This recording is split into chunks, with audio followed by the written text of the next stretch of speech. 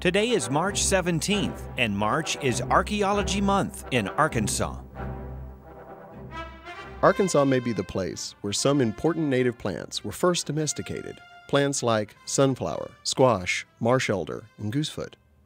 For most people familiar with plants today, those last two are thought of as little more than weeds. But 3,000 years ago, along with the crops we still cultivate, like those sunflowers and squash, they were a vital part of a fully domesticated native plant crop system being grown by people right here in Arkansas. For archaeologists investigating the fascinating story of plant domestication in North America, the archaeological record of the dry bluff shelters of the Ozarks are a critical research resource.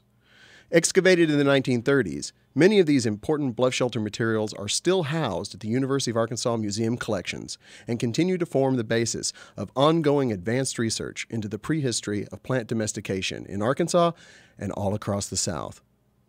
March is Archaeology Month in Arkansas. This message has been brought to you by the professionals of the Arkansas Archaeological Survey, a unit of the University of Arkansas system. I'm Dr. Jamie Brandon. Listen each day this month for the latest Archaeology Minute on KUAF. You can find out more at kuaf.com.